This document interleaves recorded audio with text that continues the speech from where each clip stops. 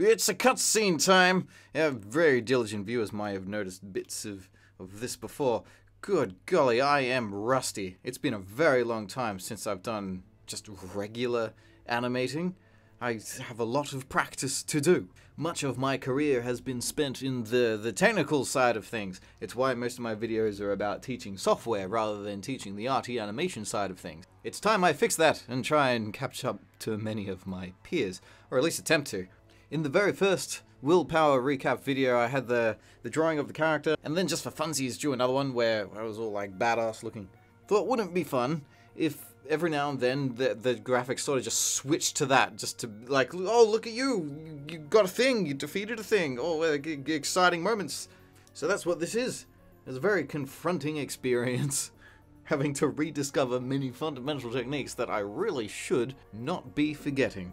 The approach was a couple of keyframes to start. This one, uh, this one, and well, not that one. You may notice that the first few frames have significantly more detail as I tried to in-between it and approach it from a more technique I usually use, which is, you know, just two keyframes, switch on the onion skin and in-between it out. Usually when dealing with rigs, that's the only type of frame by frame you need to do. If you're like opening a hand or whatever, it's not that dynamic. You don't need to use a whole lot of uh, crazy tricks. But this does. This is movement and acting and emotion, or at least it's meant to. So did a rough, rough uh, just simple circle, like it just did, just focusing on the head and being like, okay, where does that move? Around there, around there, around there. Sort of just made it up as I went, drawing fast enough that I could start to feel the movement, and then went over that. What's this called? A tie down? And most of this still wasn't focusing on entire frames at a time, but more of a rapid flipping movement where you know I draw this first time and then be like, oh, okay, so that's going up like there. Oh, yeah, all right. So, oh, that's down there now.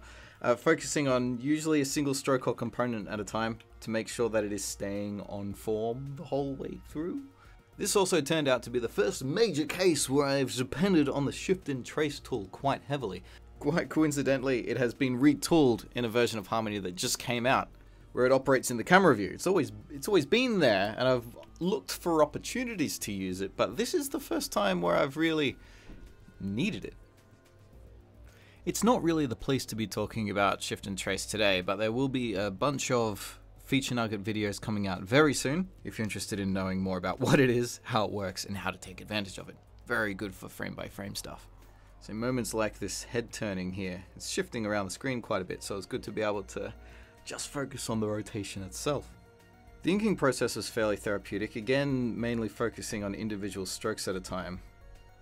Going buh, duh, duh, all the way through rather than whole frames. This portion I was less satisfied with. It seems pretty, pretty clunky, pretty wobbly, a little bit amateur overall, especially in the way that it eases and slows down. I tried shuffling the exposures around a lot, as you can see, some bits in twos, some bits in threes. And even with using onion skin flipping and shift and trace, there's still some parts where the, the model is a bit, uh, yeah. I think overall one of the big takeaways is the lines are probably a bit too thick. They, they stay the exact same thickness as it zooms out, so it becomes a little bit crowded when the image is, is small.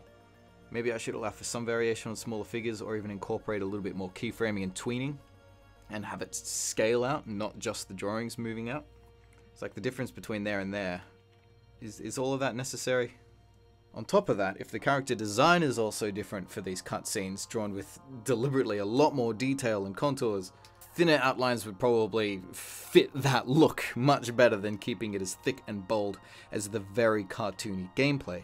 I'd still like to see this one through to the end. The shading has started, mainly just been colored, but I'll, I'll give the first frame uh, heavy, probably like three-tone shading, try and give it lots of nice black bold bits, and then carry that through as well. See how that looks.